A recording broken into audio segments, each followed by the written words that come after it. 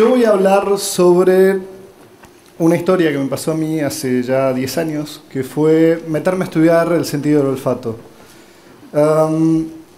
Y tengo un planteo fuerte que es el olfato contra la ciencia. Yo se me ocurrió hacer, yo estaba trabajando haciendo publicidad y se me ocurrió trabajar con olores, no había nada en este sentido. Y lo que pensé fue, vamos a hacer teoría de esto. Eh, entonces hice un doctorado. Me metí a hacer un doctorado en comunicación olfativa y lo primero que me dijeron es, ok, si conseguís em, gente que pueda ayudarte a hacer esa teoría, hacela, pero nosotros no te garantizamos nada. Entonces estuve cuatro años estudiando y haciendo un libro que se llama eh, Odotipo, Historia Natural del Olfato, donde me junté con químicos, con biólogos, con etólogos, que son los que estudian el comportamiento humano, el, comportamiento animal. En este sentido, los perros, los caballos no tienen como la nariz adelante de todo y digamos como que comprenden más el mundo a través del olfato. Estudié con psicólogos, eh, con psicoanalistas, con gente de comunicación y empecé a ver que básicamente no sabemos cómo funciona. Eh, hay muchos científicos estudiando y aplicando métodos científicos sobre el olfato, pero no sabemos bien qué es lo que pasa. No se sabe, por ejemplo, cuando una molécula olfativa llega al epitelio olfativo, qué pasa, cómo se decodifica. Eh, está en un lugar del cráneo, el epitelio olfativo, que es el centro, digamos, en los dos ejes, con lo cual entrar es muy difícil. Y para mí está bueno que pase eso, ¿no? que no se pueda entender. Era como una mala noticia, si estaba haciendo un doctorado y teóricamente estaba haciendo ciencia, tratar de em, como ir contra que no sepamos. Pero a veces es lindo no saber. Eh, para mí es maravilloso no saber. Hay algunas cosas que sí sabemos, hay algunas cosas que sí encontraron algunos científicos. Por ejemplo, que sentimos los olores cuando son incoherentes. ¿Cuándo alguien se da cuenta que algo huele? Cuando llegas a un lugar eh, y hay olor a gas, por ejemplo. Acá no debería haber olor a gas y uno se empieza a asustar y dice, no, no, no, acá no. O si te vas a comer una manzana y tiene olor a pollo porque estaba en la heladera arriba del pollo, uno no se la come, ¿no? Dice, mm, no. Eh, también cuando tenés memoria de que te intoxicaste alguna vez con eso, ¿no? Comí carne picada, me intoxiqué, vuelvo a comer carne picada, digamos, hay algo ahí que nos genera una incoherencia que nos molesta. Otra de las cosas, una metáfora que a mí me encanta, es un caramelo de frutilla, ¿no? Al olfato se lo engaña muy fácilmente. Yo hago un paquetito, le pongo una frutilla, hago uh, un saborizante, un colorante, y la gente cree que está comiendo un caramelo de frutilla cuando en un caramelo de frutilla no hay nada de una frutilla. Pero acá aparecen muchas cosas. Otra eh, cuestión maravillosa de la que me enteré es de un tipo de memoria que genera olfato, que también la tiene el oído en cierta parte, pero la vista no, que es lo que se llama memoria episódica. Eh, no sé si leyeron a Proust, pero Proust tiene un libro de cuatro tomos llamado En busca del tiempo perdido que empieza cuando él agarra a Madeleine y la mete en un té, se la come y salen cuatro tomos, ¿no? Tiene esa capacidad del olfato de darnos toda la información sensorial como metida en una partícula de olor. Yo voy a lo de mi abuela y me transporto. Pasan cosas muy, muy, muy intensas con los olores. Y es interesante empezar a estudiarlo, es súper idiosincrático, con lo cual, de vuelta, no se puede hacer ciencia, porque yo sé que a cada uno de ustedes, si se ponen a pensar en sus experiencias olfativas, van a ser distintas a las mías, seguro. Después hay una cosa que también es brillante y muy interesante, es que no tenemos léxico para el olfato, no sabemos bien, em, no hay palabras, es olor a limón, olor a café. No tenemos una palabra para el olor a café. Existen palabras como perfume, fragancia, esencia, eh, aroma, pero son palabras muy generales, ¿no? no hay léxico particular para el olfato. Y esto lo hace a científico. Hay un montón de científicos que están estudiando el olfato. Yo viajé por Estados Unidos y estuve como en 10 laboratorios distintos. Me espanté de lo que es la ciencia, ¿no? es totalmente inductiva. La mayoría de la gente trata de demostrar algo. Eh, y el olfato escapa. Unos científicos muy simpáticos que me encontré en Canadá escribieron un libro que se llama Aroma, donde lo que hicieron fue ir a la selva del Amazonas. ¿no? El Amazonas tiene un techo de vegetación. Ese techo de vegetación hace que pase poca luz. Como pasa poca luz, la vista funciona poco.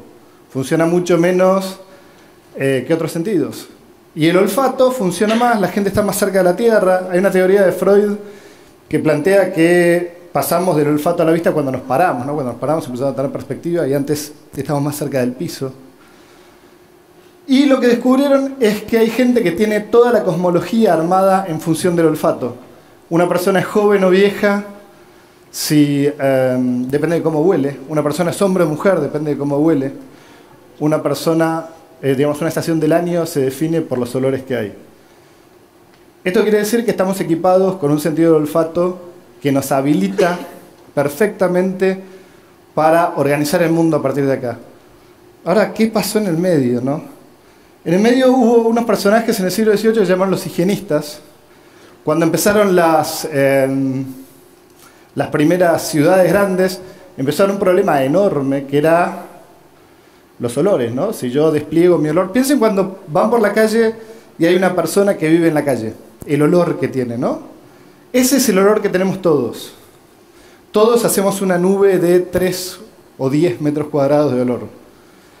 Eh, los higienistas, había un problema que eran las enfermedades, se dieron cuenta que las enfermedades se generan por las bacterias, que los olores y las bacterias están muy cerca. Entonces dijeron, no, no, olor a pata no, perfume. Y ahora, hoy, seguramente todos los que estamos acá, a la mañana nos bañamos, nos pusimos jabón, nos sacamos bien todo el olor, y después nos ponemos desodorante, perfume o lo que sea. Si agarramos un libro de percepción, en las primeras páginas dice, la percepción es la síntesis de todos los sentidos, de todo lo que sentimos juntos. Vista, oído, gusto, tacto y olfato. Ahora cuando lo leemos, el 98% del libro es de visión, por ahí un 2%, digamos acá dice con un gráfico estimativo de oído, y el resto no se habla, no, no hay datos. Eh, y esto es como curioso, ¿no? Así seríamos según un libro de percepción. Una cosa deforme totalmente.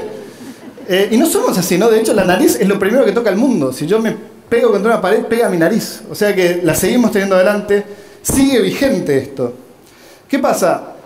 De los higienistas pasamos a un siglo de la iluminación, ¿no? y las ideas y la lamparita y la idea del iluminismo y la idea asociada a la luz y al ojo. Eh, y yo acá planteo la rivalidad, ¿no? La emoción y la nariz contra la razón y el ojo.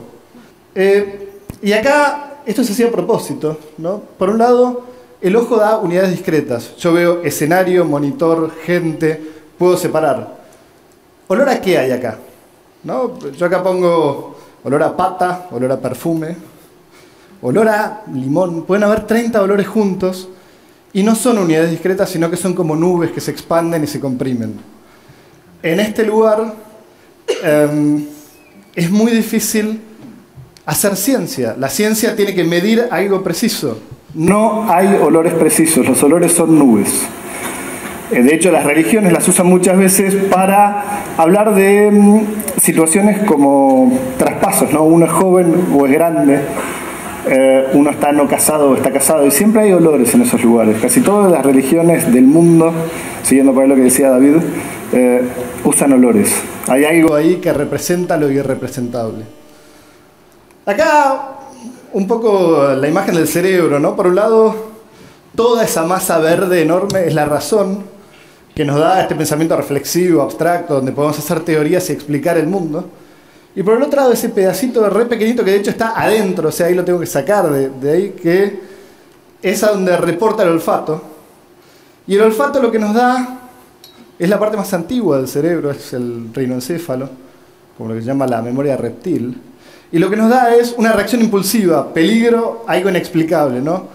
Si acá yo largo, me gusta a mí la metáfora del olor a gas, ¿no? Si yo tiro olor a gas en este lugar, salimos todos corriendo sin preguntarnos de dónde está saliendo el olor a gas. No hay una pregunta para eso.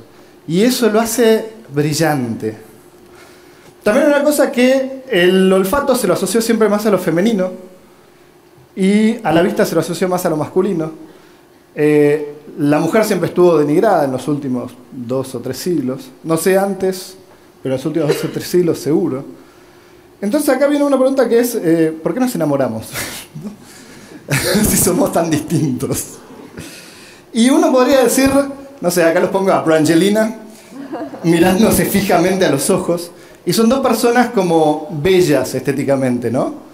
Y uno dice, yo me enamoro de lo que veo. Ahora, si vamos a la realidad, uno se enamora de lo que encuentra. ¿no? Esto yo puse ugly couple eh, en Google y salió esta pareja, que se autodefine como ugly couple. Eh, pero uno se enamora de lo que encuentra. ¿Y por qué de lo que encuentra se enamora y no de lo que ve? ¿no? Uno tiene amores platónicos y dice, me encanta ella. Vas y le das un beso. ¿Alguna vez pensaron un beso? Un beso básicamente es meter tu boca en la boca de otra persona, pasarle la nariz por acá mucho y mezclar las lenguas. En ese intercambio que no sabemos por qué lo hacemos, pero lo hacemos, le sacamos toda la información química de esa persona. Y básicamente lo que sabemos es si es compatible o no con nosotros. ¿Compatible en qué sentido? Si nuestra descendencia va a tener genes mejores. Si yo hago un buen examen en un beso, voy a saber eh, que la persona con la que estoy tiene enfermedades que yo no tengo, completamos el árbol entre los dos y hacemos una persona con más posibilidades. Palabras como no hay química, ¿no? la, hablamos muchas veces. Algo huele mal, ¿no? Y acá Pepe Le Pew, que siempre, si algo huele mal, por más lindo que sea, corremos. Y acá les voy a mostrar unos estudios que a mí me fascinaron de unos científicos que lo que hacen es unos estudios que se llaman T-shirt studies versus picture studies, ¿no? Eh, estudios de camiseta contra estudios de imagen. Se le da a una persona una remera y se le dice que durante tres días no puede usar jabón, no puede usar, em, no puede bañarse, se, puede bañar pero con jabón neutro, se puede lavar pero con jabón neutro, y básicamente tiene que agarrar su remera de sus olores. Después se le dan al sexo contrario estas remeras y se hace elegir una. Lo mismo hacen con imágenes, ¿no? Le sacan una foto a una persona y le dicen, bueno, ¿qué, ¿cuál de estos personajes elegís? Cuando se comparan los resultados, cuando se elige por la imagen, se elige la persona menos compatible desde el MSH, desde este lugar de em, la compatibilidad de enfermedades, y cuando se elige por la nariz se elige el más compatible. Notable, ¿no? Eh, estamos en el siglo de la imagen, o tal vez el siglo que estamos entrando ahora y el milenio este se vaya la imagen al demonio, ojalá. Hay una cosa acá que es clave, ¿no? que es, eh, hay una palabra que es esencia, que viene del latín essere, en inglés lo dicen scent a los olores. Esencia filosóficamente es muy pesado. Cuando yo huelo algo, me pongo en contacto con la esencia de la cosa. Es, son palabras mayores, oler algo. Es uno de los pocos sentidos, junto con el gusto, que se mete algo adentro del cuerpo. Yo meto moléculas emitidas por otro adentro de mi cuerpo. Es muy íntimo lo que pasa y estamos en un lugar donde tuiteamos en vez de ser íntimos. Eh, ponerse en contacto con la esencia es importantísimo, es algo como necesario, es algo que nos va a dar mucho mayor comprensión. Yo tengo eh, un bebé que tiene seis meses y la forma de conectarse con el mundo es chupando, o sea, sacándole la información química. De grandes no chupamos nada. Y estaría bueno chupar un poco más las cosas. Sacarles la información química. ¿no? Nadie chupa el teléfono, nadie chupa la computadora. La vemos, la escuchamos, pero no la chupamos y no la olemos. Nos falta eso.